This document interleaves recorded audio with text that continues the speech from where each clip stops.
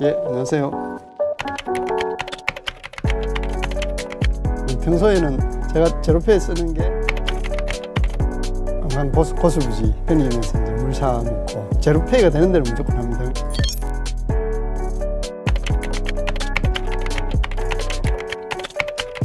제 입에서 말씀드리기는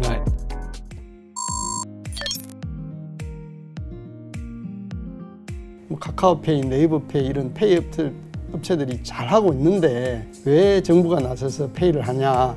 간편 결제 업체들이 오프라인에서 간편 결제 서비스를 할 수 있게 하는 일종의 도로만 깔아주듯이 그러니까 금융 고속도로를 깔아주는 일을 하는 거거든요. 네. 어떤 측면에서 뭐 정부가 가- 당연히 해야 되는데 네.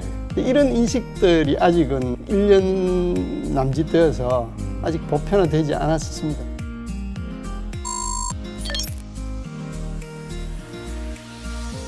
십년 후에 무조건 플라스틱 없어진다는 거지. 무조건 갈 길이에요. 제가 나서서 조금 속도를 빨리 할 수 있을지는 모르겠는데 누가 하든 간에 네. 이건 가게 돼 있다는 거지. 카드 인프라가 워낙 잘 돼 있어서 간편결제 인프라 만든다는 게 정말 힘들거든요. 할 수 있으면 벌써 했겠죠. 그러니까 정부가 나서서 이제, 이제 초기 이런 어떤 도로 망 까는 걸 도와주니까 이건 전 되겠다고 믿는 거죠. 어차피 가게 되는 길이에 정부까지 나섰으니까 이건 무조건 된다고 봤어요.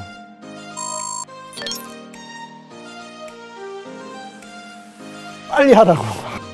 이게 4년, 5년 걸려야 될 일을 1, 2년 안에 해내라 하니까 그게 사실 힘들긴 한데 그만큼 어떻게 보면은 또 우리가 쫓긴다는 뜻이기도 해요. 왜냐하면 우리나라가 사실 신오리엔트된 네. 문화를 가진 나라인데 다른 거는 굉장히 빨리 하는데 결제가 안 넘어가는 게 전 국민이 여기 카드의 습관에 익숙해져 있어서 네. 넘어가기 어렵잖아요. 넘어가기만 하면 아까 얘기하신 뭐 각종 테이블 오더 같은 거라든지 이런 것도 굉장히 빨리 진척돼요.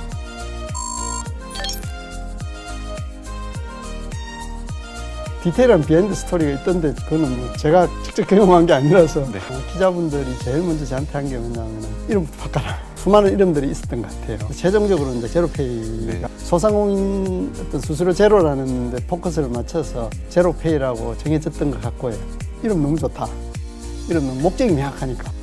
어쨌든 지난 1년간 얻든 묻든 뭐 예를 들면 비난을 받든 어쨌든 제로페이라는 게 굉장히 생각보다 많이 보급이 됐어요. 예. 인식이 됐어요. 예, 사람들 예, 예. 머릿속에. 그 굉장히 괜찮은 자산이다. 음. 대신에 이걸 우리가 할 일은 부정적인 요소들을 오해, 대부분 오해거든요. 오해를 불식시키 나가는 과정만 열심히 하자. 이게 이제 제 생각이었어요.